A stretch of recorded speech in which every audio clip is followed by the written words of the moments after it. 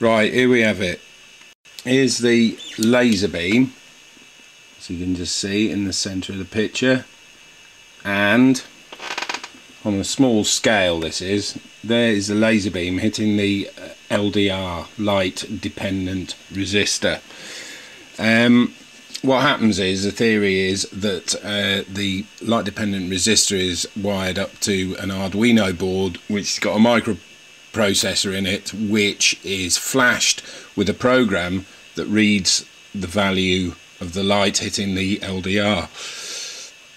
That sends to a computer which is running a program on processing which tells it to do various things. In this case it's running as a laser trip wire.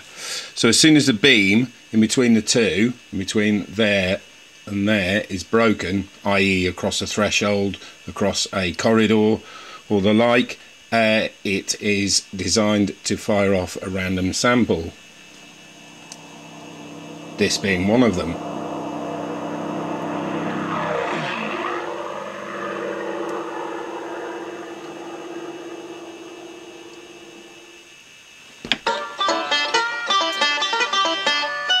There we go.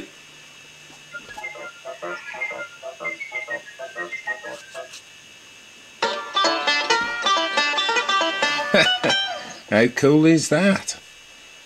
Thank you very much.